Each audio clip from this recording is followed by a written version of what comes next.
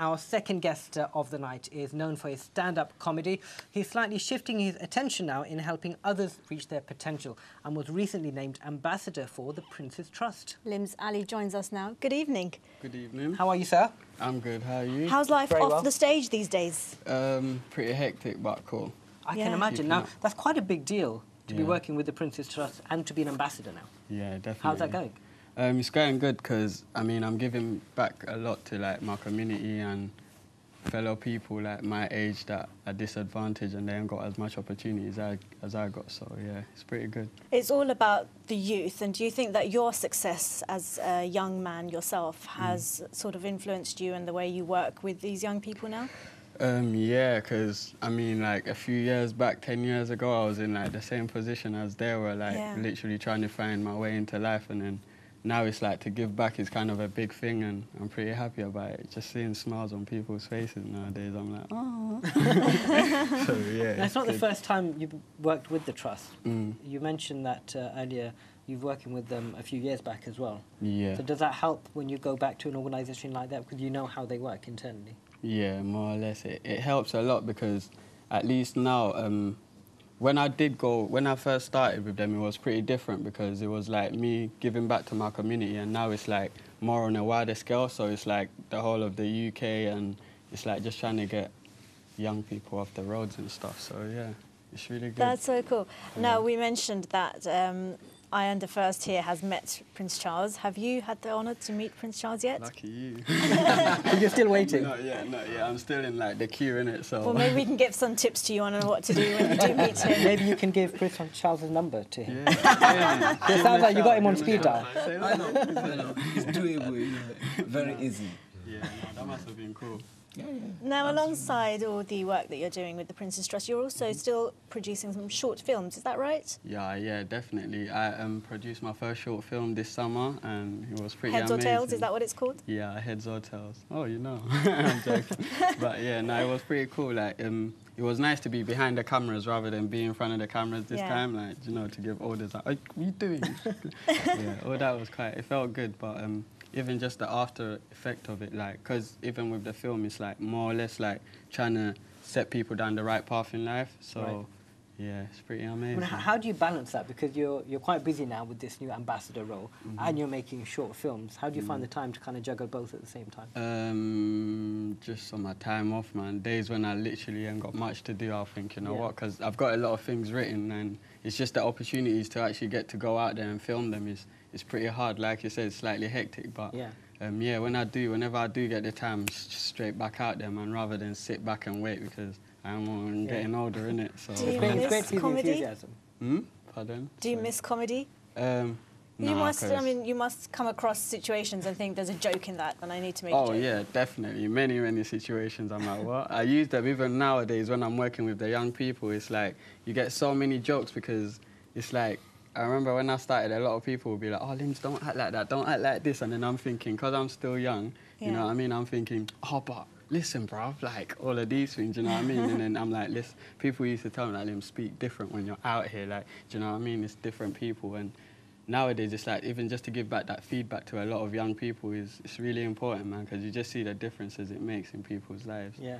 Yeah. Well, Lynn, we- we can really see in the way you're talking about it that you're excited, you're showing great enthusiasm, Yeah. and it's great to see you doing so well. Um, Mhm. Thank you so much for coming on. Oh, now, um, just before we started your interview, you were looking very keenly at that drum that we have here on Was the table. you were.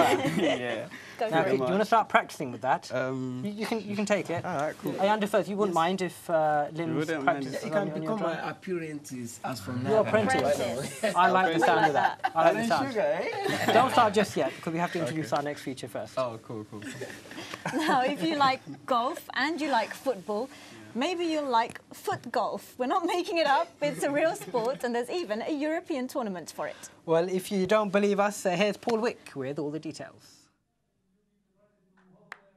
Meet Bjorn Bulk, the Dutchman who is fast becoming the Lionel Messi in his sport. He's the winner of this year's Europa Cup in a game where the tee off is a free kick and putting looks like the first time you've ever kicked a ball. This is foot golf, a cross between football and golf, and one that is proving to be a hit in Spain. Though many people have probably still not heard of the game, it's becoming better organised, And Bjorn Bulk, who recently won the unofficial Foot Golf World Championships and a string of other major foot golf events, hopes to turn professional with it. I, I hope it's the same as uh, the dart sport. The dart sport was uh, 15 years ago. It was uh, for uh, yeah, for fun, and now they're traveling uh, all over the world, only for uh, yeah, playing for money. Foot golf burst onto the golf course about five years ago and has since boomed as a secondary attraction to conventional golf around the globe. Golf clubs are known for their rules and regulations, so the idea of taking a football onto the course for a kickabout at first seems unthinkable. But that's exactly what appears to be happening today. Played with a standard sized football that is kicked towards an oversized hole in a flag pin, foot golf has even been given the PGA seal of approval. We, we have a etiquette, we have rules. We try to to um, to get the, the foot golfers a little bit quiet, but they are uh, the most the most player uh, very passionate about football, so it's, it's a, a little. The event seemed to be a hit with the Atalaya Golf and Country Club in Andalusia, where this year's tournament was held.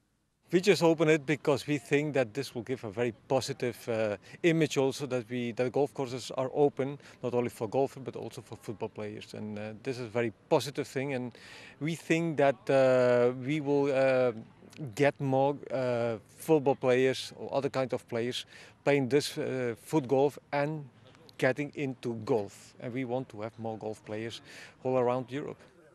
With more than 70 golf courses on the Costa del Sol in Spain, Foot golfers are now being welcomed with open arms to simply help cover the weekly cost of a clubhouse. So it may not be too long before we see a Masters event, but should we give the winners a green jacket or a golden boot?